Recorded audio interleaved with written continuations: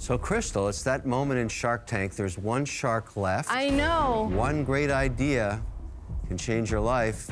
Now, it depends what Mr. Cuban wants to do. Mark, I know that I can make more solar cats. I have actually talked to some businesses in New York about getting them in their windows. What did it cost to build something like that?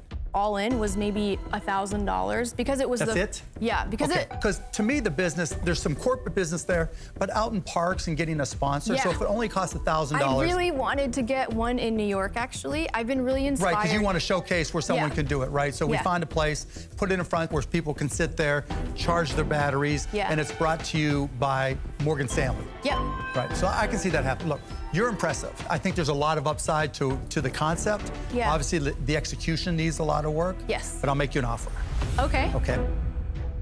I'll give you the $150,000. Okay. But I want 25%. 25%. Um, would you be No. willing to go down to No. 20? No. Um, you got a deal, Mark.